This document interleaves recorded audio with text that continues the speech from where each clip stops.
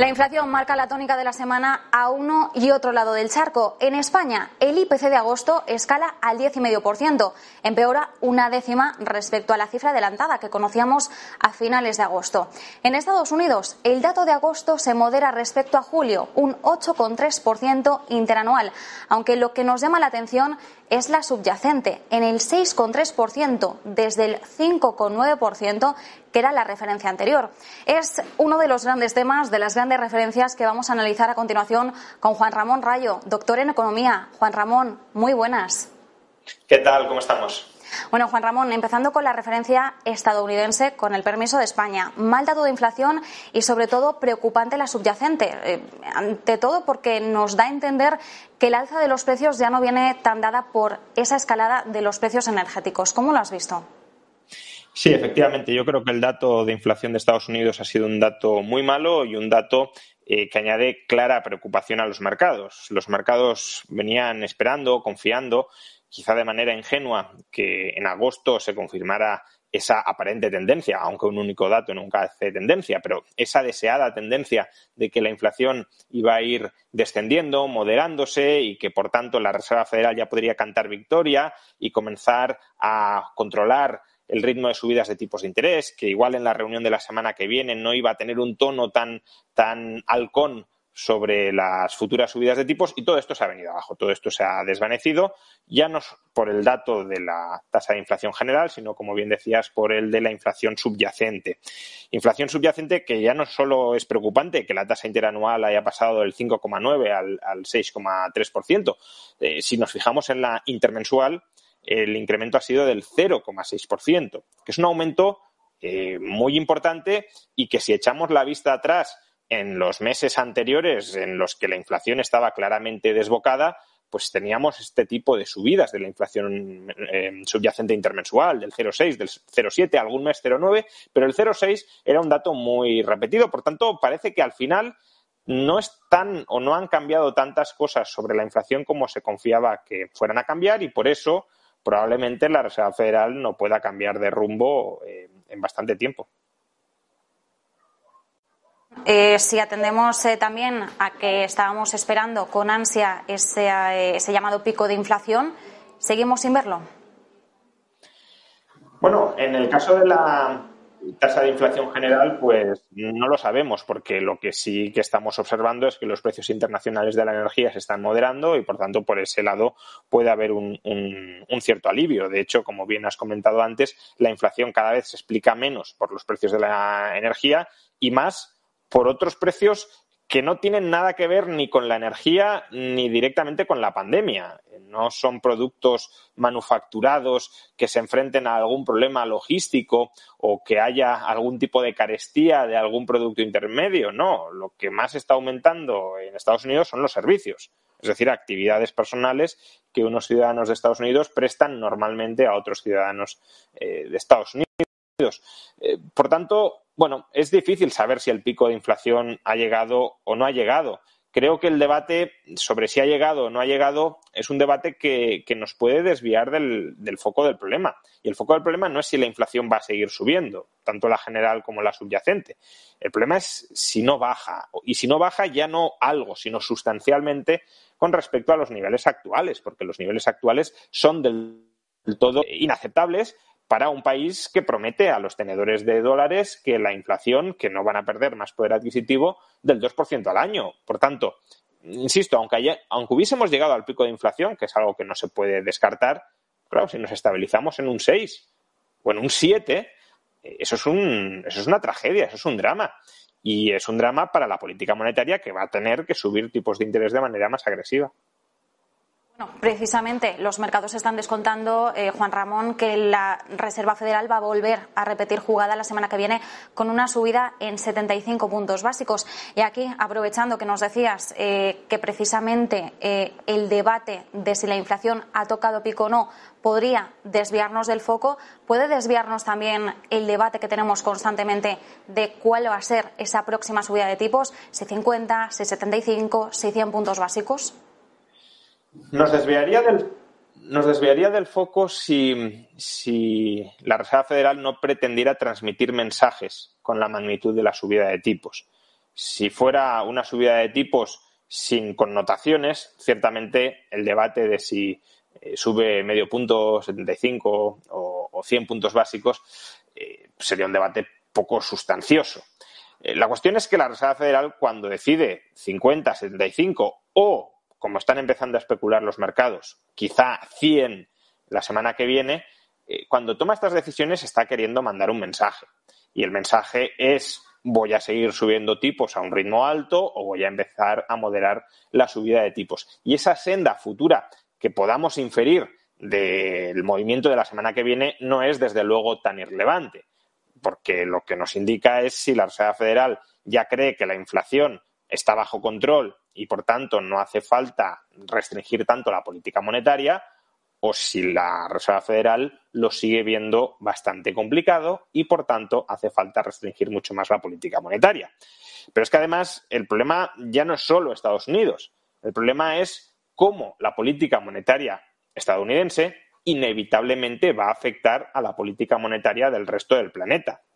Si la Reserva Federal sube los tipos de interés, está totalmente descontado ya en 75 puntos básicos o en 100 puntos básicos, nos iremos a unos tipos de interés en Estados Unidos en septiembre del 3,5%, alrededor del 3,5%. En Europa están al 1,25%. Si la Reserva Federal vuelve a subir tipos, como los volverá a subir, ya veremos si 75 o 50, pero los volverá a subir en octubre y en noviembre, nos vamos a final de año al 4 o por encima del 4%. La eurozona no va a poder resistir, el euro no va a poder resistir eh, unos tipos de interés en Estados Unidos del 4 o del 4 y pico por ciento con unos tipos de interés en la eurozona del 1,25. Por tanto, es evidente, y lo ha dicho el propio Banco Central, que los tipos de interés en la eurozona van a seguir subiendo. Pero cuanto más suban en Estados Unidos, más van a tener que subir en la eurozona. Y quien dice la eurozona dice también economías emergentes, donde si se fortalece el dólar, el problema no es solo que su moneda se deprecie y que importen inflación y que eso pues lleve a sus bancos centrales a tener que subir más los tipos para luchar contra esa inflación. No, el problema de las economías emergentes, que es un problema que afortunadamente no tenemos como tal en la eurozona, es que gran parte de la deuda interna está denominada en dólares, de modo que si se deprecia la divisa local frente al dólar, te enfrentas a una crisis nacional de deuda.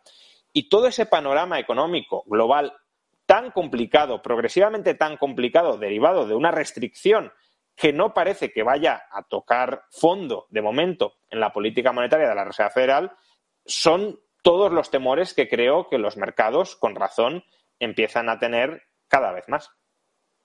Precisamente mi próxima pregunta, ya me la has respondido, me has dicho cuanto más se suban los tipos en Estados Unidos, eh, más van a subir en la eurozona. Precisamente quería preguntarte si en caso de que sigamos viendo esa senda hawkish por parte de la Reserva Federal la semana que viene, se puede añadir, eh, por tanto, más presión para que el Banco Central Europeo siga con esa senda eh, más agresiva. De hecho, veíamos a Christine Lagarde la semana pasada eh, indicando, respecto cuando se le preguntaba por las próximas subidas de tipos, decía, bueno, al tipo terminal vamos a llegar pues en no más de eh, cinco reuniones, pero no menos de dos.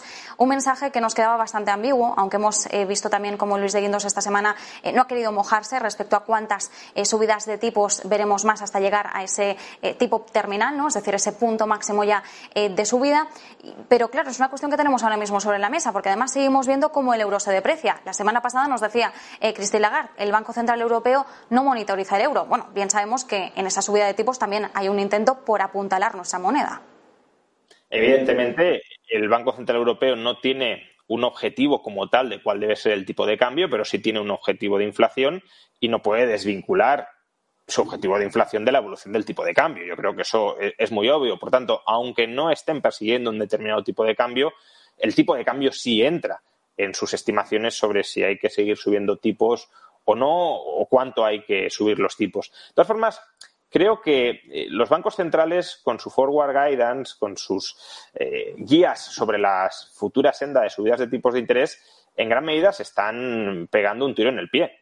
Se están pegando un tiro en el pie porque están, al menos el Banco Central Europeo, la Reserva Federal, empezó con mal pie, pero al menos está rectificando y sí está dando una guía más o menos razonable de lo que va a hacer. Pero el Banco Central Europeo, eh, y esto ya lo criticó Larry Summers hace un par de meses, tú no puedes dar unas indicaciones a los mercados de lo que vas a hacer si no sabes si vas a poder hacer realmente eso.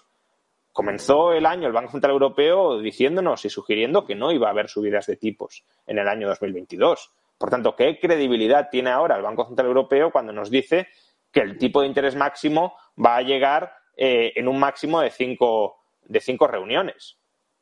Bueno, eso no depende enteramente del Banco Central Europeo, depende de la evolución de la tasa de inflación y el Banco Central Europeo no controla la tasa de inflación. Y además, no solo depende de la tasa de inflación como tal de la eurozona, sino también de lo que haga la Reserva Federal. Y el Banco Central Europeo no controla lo que hace la Reserva Federal. Por tanto, ¿para qué lanzas mensajes? Es verdad que ambiguos. La ambigüedad ya te está diciendo que no saben muy bien lo que van a hacer y que, por tanto, no quieren generar mucha confusión ni quieren comprometerse demasiado con políticas muy, muy claras y muy transparentes porque saben que no las van a poder cumplir. Pero incluso en esa ambigüedad, ¿para qué lanzas ese mensaje tan ambiguo? Eh, si sabes que a lo mejor el tipo de interés máximo no llega ni en dos, ni en tres, ni en cuatro, ni en cinco, sino en diez reuniones porque van a tener que seguir subiendo tipos de interés en Europa. No lo sabes. Y como no lo sabes, transmitir ese mensaje erróneo a los mercados eh, solo puede hacer que minar todavía más tu credibilidad. Exacto, veremos a ver si esa horquilla de dos a cinco reuniones eh, se queda pues no otras eh, palabras eh, más que no se cumplen dentro eh, de los mensajes que, como bien indicabas, el Banco Central Europeo ha ido lanzando a los mercados sin saber realmente si los podían cumplir o no. Citabas la credibilidad, credibilidad, confianza. Ahora mismo están eh, en jaque cuando hablamos del Banco Central Europeo, cuando hablamos de los bancos centrales en su conjunto, pero en especial en el caso de la eurozona. Eh, Juan Ramón, ya barriendo hacia España, dentro del dato de inflación que hemos conocido, llama especialmente la atención el repunte de los alimentos. Eh, hablamos de casi un 14% interanual en el mes de agosto. Hablamos del nivel más alto desde 1994. ¿Podemos esperar una tendencia a la alza mayor los próximos meses o esperamos una moderación en función de los precios de la gasolina? A ver, en teoría, lo que pasa que hacer este tipo de pronósticos, como estamos viendo en el caso de Estados Unidos, no sirve demasiado, pero en teoría, si el precio de los combustibles y el precio de muchas materias primas se está abaratando, deberíamos empezar a ver una moderación en el alza de los precios de los alimentos. Sin embargo, insisto, esto no dejan de ser medias estadísticas de lo que sucede en el conjunto de la alimentación en España. Y si en el conjunto del sector de la distribución en España suben los precios, eh, eso, bueno, pues eh, hay tres posibilidades, ¿no?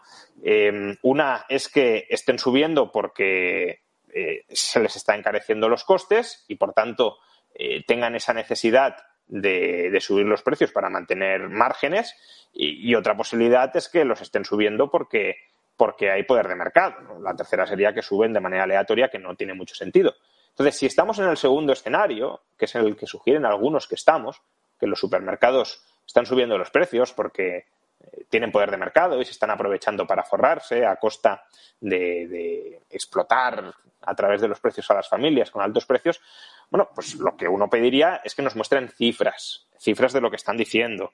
Si es verdad que los supermercados tienen márgenes de beneficio unitario tan disparatado, que nos enseñen esas cifras tan disparatadas de margen de beneficio unitario. Y no me estoy refiriendo a que el agricultor diga que él vende a 10 y en el supermercado cueste 150. No me estoy refiriendo a eso, porque ese tipo de comparaciones obvian toda la cadena de valor entre medias desde que se compra el producto hasta que se vende al consumidor final. Me estoy refiriendo a que saquen cuentas de resultados de supermercados y nos digan, sus ingresos son estos y sus beneficios son estos. Por tanto, están ganando mucho por cada unidad vendida. Porque los datos que tenemos hasta el momento de todos los supermercados en España, que son un sector razonablemente competitivo, probablemente uno de los sectores donde más competencia hay, porque no está copado por cuatro grandes superficies, sino que hay mucha tipología de sector de la distribución que compite muy agresivamente entre sí, lo que estamos viendo, lo que sabemos de los datos, de las cuentas de resultados de, los supermercados, es que su margen de beneficio unitario, lo que ganan eh, antes de impuestos, si encima quitamos los impuestos, pues todavía menos, pero lo que ganan antes de impuestos por cada euro que venden es tres céntimos en promedio. Tres céntimos Mercadona, dos céntimos Carrefour. Entonces, claro, que alguien diga que los supermercados están inflando a ganar dinero porque su margen de beneficios por cada unidad vendida se está disparando, quizás sea así, pero ¿con qué datos están hablando? Porque los datos públicos que conocemos no indican eso. Y quizá, si no nos aportan datos, lo que estén haciendo sea envenenar a la población buscando un chivo expiatorio para no para que la población no gire la vista y no se fije en quienes sí pueden tener la responsabilidad de muchas de las cosas que nos están sucediendo, que son los políticos y los banqueros centrales.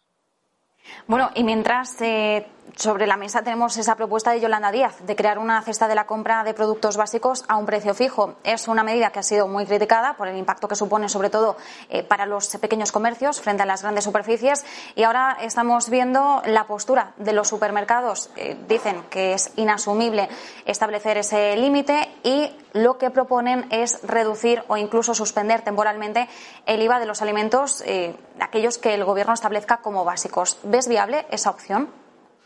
Bueno, a ver, como ahora estamos en una senda de indisciplina fiscal absoluta, porque parece que eh, todo se puede llegar a, a, sufragar y a internalizar los costes, nos estamos empobreciendo, el país está empobreciendo y parece que el gobierno tenga que evitar que todos nos empobrezcamos, lo cual simplemente supone endeudamiento y que las facturas que no pagamos hoy las, paguemos en el futuro. Hoy estamos pagando las facturas de la pandemia porque no quisieron que nos empobreciéramos en la pandemia eh, y efectivamente hubo una política de mantenimiento de rentas, de ingresos y parte de esa política, parte de esa factura la estamos pagando ahora con la alta inflación. Bueno, pues aquí estamos siempre en lo mismo. Los políticos tratando de eh, tirar la pelota hacia adelante para que el empobrecimiento que, se está experimentando, se experimentó en la pandemia y se experimenta ahora, pues no lo sufra la población en sus carnes, la que les vota en estos momentos, sino la que vaya a votar a futuros políticos.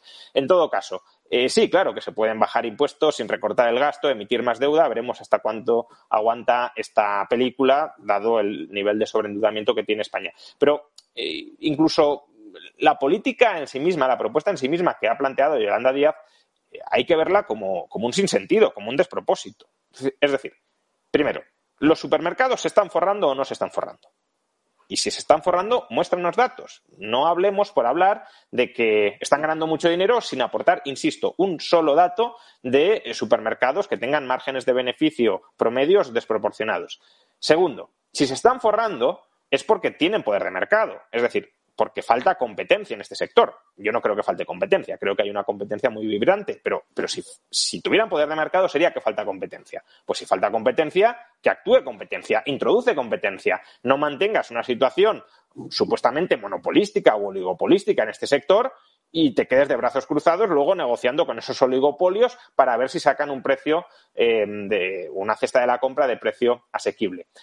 Y tercero, si no se están forrando, sino que les han subido los costes y trasladan esos costes a mayores precios, si no hay un poder de mercado desproporcionado, uno puede, sin duda, decir, bueno, hay un problema social, eh, porque puede haber gente que efectivamente no pueda pagar la cesta de la compra de productos básicos. Pero si tú quieres solucionar ese problema, y puede tener sentido que lo quieras solucionar, una respuesta podría ser esa, la que han planteado los supermercados, de suspender el IVA de los productos más básicos otra, desde una perspectiva socialdemócrata, que tendría más sentido que lo que está proponiendo la ministra, es dar un cheque para las familias que tengan serios problemas financieros para que compren ellos los productos que ellos escojan comprar en los supermercados, no que la ministra se descuelgue con una cesta de la compra supuestamente básica que no tiene por qué ser representativa de todas las familias que están sufriendo dificultades financieras y que además si la implementas controlando precios, estableciendo precios máximos, lo que haces es generar un problemón ya no para el sector de la distribución, sino para todos los demás porque empezarían a escasear productos.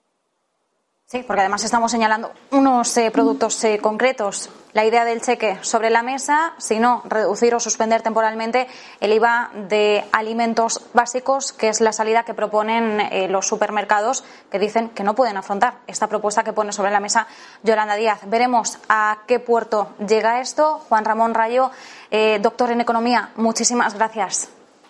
Muchas gracias a vosotros. Hasta otra.